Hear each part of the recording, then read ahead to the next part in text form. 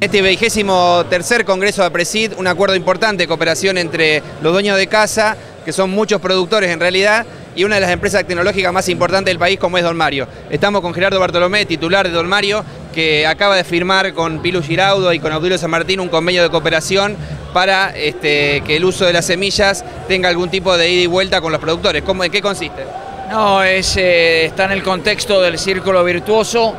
que nosotros consideramos que se establece entre los agricultores y las empresas de tecnología y esto refuerza, refuerza este concepto en donde los eh, participantes de la regional de APRESID van a recibir en devolución parte de las reales extendidas que paguen para poder desarrollar sus planes de trabajo para mejorar la productividad y mantener los recursos naturales.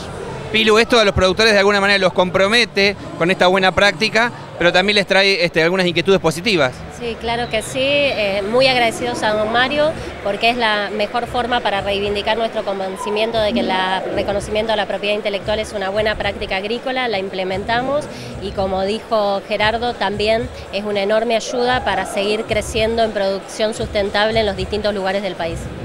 Otulio, ¿algún detalle concreto de cómo se instrumentará? No, que esto ya empieza con el trigo que está sembrado ahora y seguimos con la soja, va a tener una duración de tres años